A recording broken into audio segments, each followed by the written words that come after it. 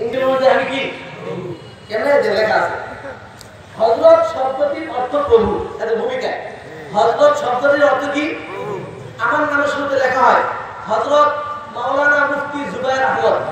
আগে হজরত পরে অন্য কিছু আর হজরত মানে কি প্রভু আমি বললাম যেহেতু আমার নামের শুরুতে হজরত প্রথম লেখা হয় আগে হজরত মাওলানা মুফতি জুবাইর আহমদ আগে হজরত হজরত মানে প্রভু তার মানে আমি হলাম প্রভু আমি প্রভু হয়ে বলতেছি আপনার কিতাবটা বাতিল আপনার ধর্মটা বাতিল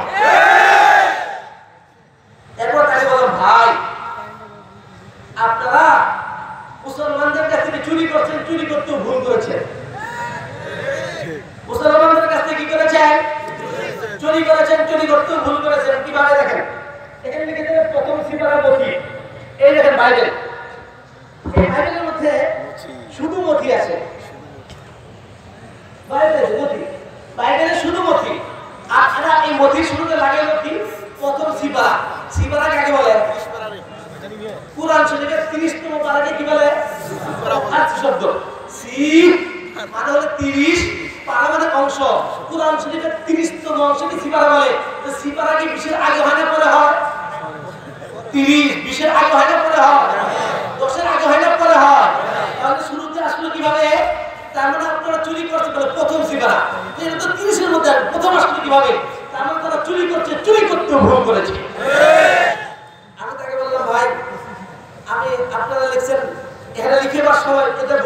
লিখছে? পঞ্চাশ থেকে পঞ্চান্ন কিংবা ছেষট্টি থেকে আটষট্টি। এই কিংবা সন্দেহের জন্য। আপনাকে কেউ জিজ্ঞাসা করল হজরত মামুন হাসান হুজুর কি আসছেন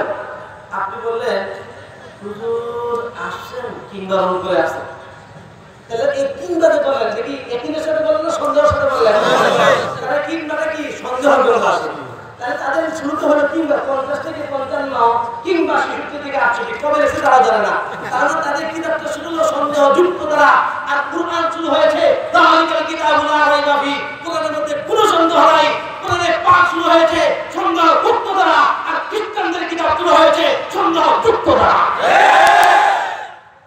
আমি তাকে বললাম ঠিক আছে ভাই আসানোর আগে। আপনি যে বলেন আপনি তাওরা দিদি প্রতিষ্ঠা করতে হবে। আপনি কি এই দিন মানেন? হ্যাঁ তা তো মানি। আমি বললাম এই দিন যদি মানেন তাহলে আপনাকে আপনাকে এই বাংলাদেশে আপনি থাকতে পারবেন আপনি কি কেমন যাই মথির পনেরো চব্বিশ এখানে আছে যিশু বলেন আমাকে কেবল বনি ইসরায়েলের হারানো বেড়াদের কাছে পাঠানো হয়েছে কারোর কাছে পাঠানো হয়েছে ওই ইসরায়েলের হারানো ভেড়াদের কাছে আমি বললাম যে দেখেন এই যে আমি করে- করে ফেলেছি, পনেরো, চব্বিশ। যিশু যখন বললেন, আমাকে কেবল বলুন, আপনার বলতে হবে, হুজুর, আপনি মুখস্থ করে দেবেন, মুখস্থ করে শুনেন। আমাকে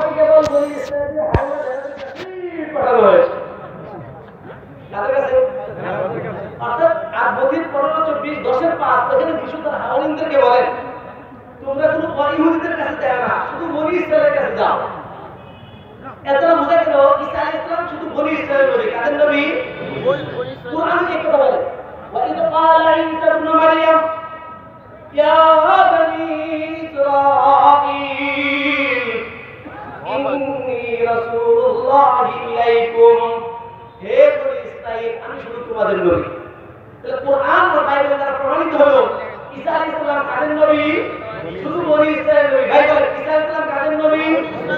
বলেন, কাদের নবী? কাদের নবী? আমি বলেন তো, বনি ইসরায়েলের মানুষ কোথায় থাকে? বাংলাদেশে থাকে না ফিলিস্তিনে থাকে? ফিলিস্তিন, ইসরায়েলের মধ্যে বাংলাদেশের মানুষ থাকে। কোনো সমস্যা নাই? আমি খাটো মানুষ তো। আপনার অধিকার করতে চান আপনাকে হয় ফিলিস্তিন যেতে হবে।